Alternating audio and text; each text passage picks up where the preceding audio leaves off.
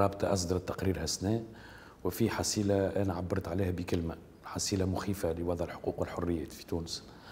آه، فما رقم نعطيه لك اللي هو 118 حالة تعذيب 2022 و 2023 وكي نقولوا تعذيب نقولوا التعذيب آه، آه، المادي الجسدي وكذلك التعذيب الذي هو في تعريف المعاملة القاسية والمهينة حسب تعريف الاتفاقية الدولية لمناهضة التعذيب.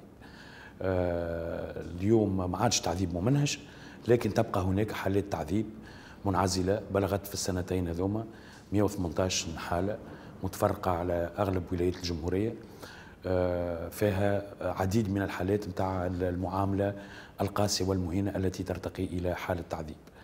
آه، عندنا أرقام أخرى متعلقة بالإحالات على المرسوم 54 فما 47 حالة منها سبعة صحفيين. آه،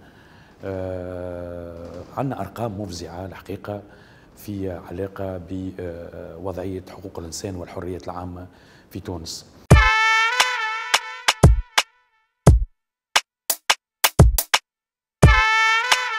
هو حالة حرية التعبير تشهد تراجع.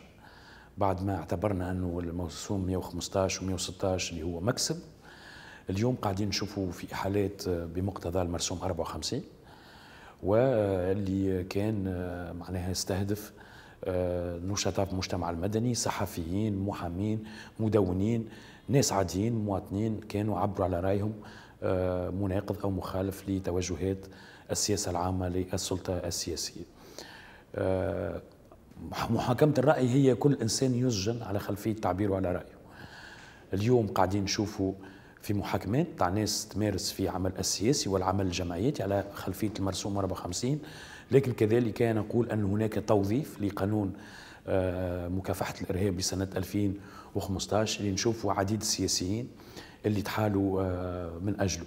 هذا القانون آه، معناه يتضمن عقوبات شديدة وجرائم خطيرة ترتقي فيها العقوبة إلى الأعداء. وكنا تحدثنا عليه زاد كيف كيف الرابطة سنة 2015 في علاقة بالحق في الحياة أنه القانون هذا يجب أن يتضمن أقل آه، عقوبات تستوجب عقوبة الأعداء.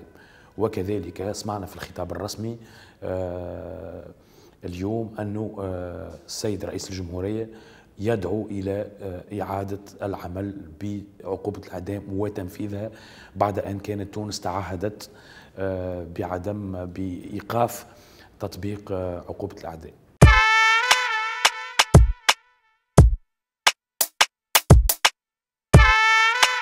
اللي نوصفه أنا نعطيك رقم. اليوم فما آه ستة إذا صح التعبير ستة أمناء عامين لأحزاب آه فيهم السابق وفيهم الحالي مسجونين في السجن بتهم مختلفة. فما مجموعة منهم في قضية تآمر فما عبير موسي فما رياض بن فضل على خلفية قضية آه مالية فما منصف المرزوقي صدر في حكم غيابي وهو آه خارج البلاد.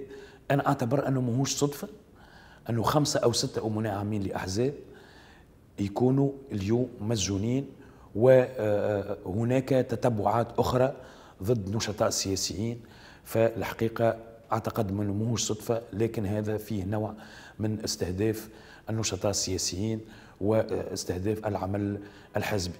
فما كلمة قاعدة تتقال هل أنه السياسيين معناها يتمتعون بنوع من الحصانة؟ أكيد لا. لكن ماهوش صدفة اليوم أنه نشوفوا في عديد الملفات فارغة وحتى كان فما جرائم لا يمكن أنها تبرر الإيقاف والإيداع في السجن.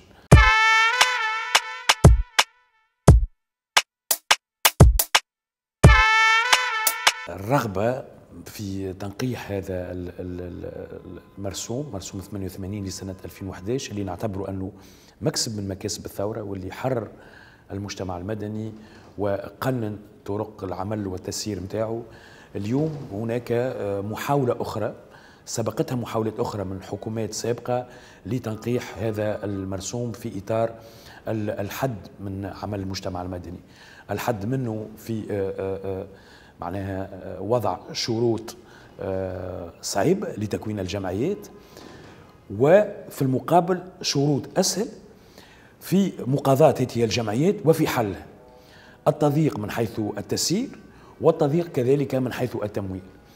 آه، أنا نعتبر أن المرسوم 88 فيه كل الآليات اللي تخول الحكومة مراقبة عمل المجتمع المدني ومراقبة مصادر تمويلها وكيف تصرف الأموال. وهل تذهب فعلا لتحقيق أهداف الجمعية ولا لا؟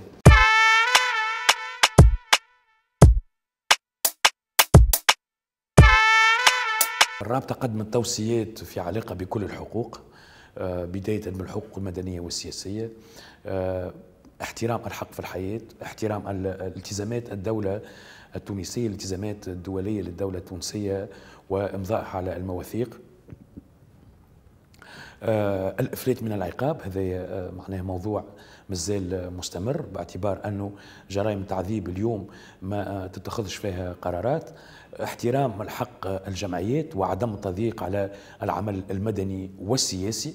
اليوم نشوفوا اللي فما تضييق من من خلال عدة مؤشرات وهي مثلا تنقيح القانون الانتخابي عدد 55 بما لا يسمح للأحزاب الترشح للانتخابات في شكل قوائم حزبية بل الانتخاب على الأفراد. آه، تنقية المناخ السياسي اليوم نعتبر أنه الأربعة مرسوم 54 هو سيف مسلط على كل آه، آه، صوت ناقد أو صوت معارض. كل إنسان اليوم ينجم يلقى روحه عرضة للتتبعات. في خصوص الحقوق المدنية والسياسية اليوم نشوفوا في ارتفاع نسبة البطالة ارتفاع نسبة الفقر. الدولة ماهيش لاقية حلول لتردي المرافق الأساسية منها النقل والصحة. اليوم عندنا شح في المياه ومناطق عديدة تشكو من انقطاع مستمر في المياه وشح في المياه آه، مما يخلي آه، حياتهم صعيبة جدا. اليوم نشوفوا في غلاء الأسعار ورفع الدعم بل آه، سحب المواد المدعمة من الأسواق.